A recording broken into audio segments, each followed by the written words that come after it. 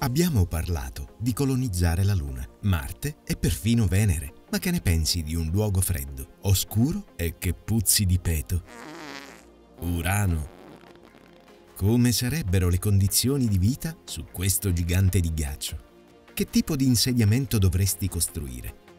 E quali pericoli incontreresti nel posto più puzzolente del Sistema Solare? Questo è... Cosa succederebbe se vivessi su Urano? Benvenuto nella tua nuova casa, sul settimo pianeta distante dal Sole. Saresti ad un'esorbitante distanza di 2,9 miliardi di chilometri dalla fonte d'energia del nostro Sistema Solare Seguendo i passi della sonda NASA Voyager 2, il viaggio verso Urano durerebbe circa nove anni e mezzo. Ma una volta arrivato, avresti una magnifica vista su questo gigante di ghiaccio. Quello che troveresti sarebbe un pianeta quattro volte più grande della Terra, attorno al quale orbitano 27 lune conosciute e 13 anelli. In più, ruoterebbe da est ad ovest e inclinato sul fianco, Bene, è tempo che tu raggiunga la superficie. Aspetta, dov'è la superficie? Mentre scendi, tappati il naso. Questo posto puzza terribilmente. L'atmosfera gassosa di Urano è fatta principalmente di idrogeno, elio e metano. Le altitudini più elevate sarebbero le più puzzolenti, grazie al pungente odore di uova marce dell'acido solfidrico. Scendendo più giù verso la superficie del pianeta, cominceresti a notare che non ce ne sarebbe una. Urano è più piccolo e composto diversamente dai giganti gassosi Giove e Saturno. È costituito da acqua viscida, metano e fluidi di ammoniaca sopra un piccolo nucleo roccioso. Non riusciresti a vedere molto.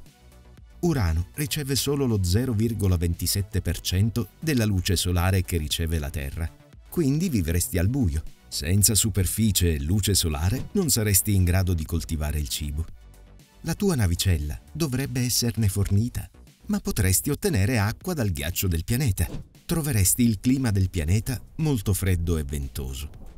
Le temperature in alcune parti dell'atmosfera possono arrivare fino a meno 225 gradi centigradi. È più freddo di Nettuno, il pianeta più esterno del Sistema Solare. Enormi nuvole di ammoniaca e cristalli di ghiaccio di metano ti vorticherebbero intorno. Tempeste grandi, quasi due terzi degli Stati Uniti, ti picchierebbero con venti che arrivano fino a 900 km orari. Ma è troppo tardi per voltarsi indietro. Devi capire come sistemarti e sopravvivere in queste condizioni. Stabilirti sulla superficie sarebbe da escludere in principio e i più forti e gelidi venti ti dilanierebbero alle altitudini più basse. La tua chance migliore sarebbe quella di un insediamento fluttuante sopra le nuvole, ma questa non sarebbe la solita sistemazione con dirigibile o navicella. I dirigibili volano solo quando sono riempiti con un gas che è più leggero dell'atmosfera che li circonda. Sulla Terra utilizzeresti l'elio. Su Urano non ci sarebbero gas più leggeri da utilizzare. Questo per via dell'atmosfera, fatta di molecole di idrogeno ed atomi di elio. Tuttavia, potresti provare qualcosa di più teorico, come una navicella pseudo sottovuoto. Invece del gas, questo tipo di navicella creerebbe un vuoto per sollevarsi. Avresti semplicemente bisogno di rimuovere o aggiungere gas per permettere alla nave di alzarsi o abbassarsi e sarebbe una tecnologia pulita, nessun bisogno di carburante. Dovresti metterti comodo perché non saresti in grado di lasciare la tua nave senza una tuta spaziale. Su Urano non potresti respirare e non sopravvivresti un secondo a temperature incredibilmente gelide. Resta al sicuro e goditi il panorama.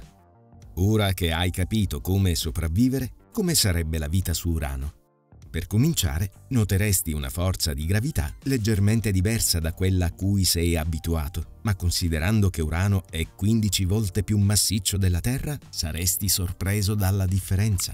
Diversamente da ciò che potresti pensare, non dovresti preoccuparti di essere schiacciato. La gravità sulla superficie sarebbe solo il 90% di quella terrestre. Quindi, se sulla Terra pesassi 75 kg, ora peseresti 67 kg. Un'altra cosa alla quale dovresti abituarti è il tempo. Un giorno uraniano equivarrebbe a circa 17 ore sulla Terra. Non sembra terribile, ma tieniti pronto ad un viaggio incredibilmente lungo attorno al Sole. Un anno su Urano sarebbe pari a 84 anni sulla Terra. Potresti morire di vecchiaia prima della fine dell'anno. Potresti perfino vivere una vita intera in 42 anni di un lungo inverno o di una lunga estate. Una bella lunga estate sulla Terra suona piuttosto bene al momento. Magari è tempo di inclinare l'asse terrestre su un lato per vedere che succederebbe. Beh, ma questa è una storia per un altro. Cosa succederebbe se... Ehi, se ti è piaciuto questo episodio, clicca mi piace e non dimenticare di iscriverti al canale per rimanere aggiornato e per non perderti il meglio di Cosa succederebbe se...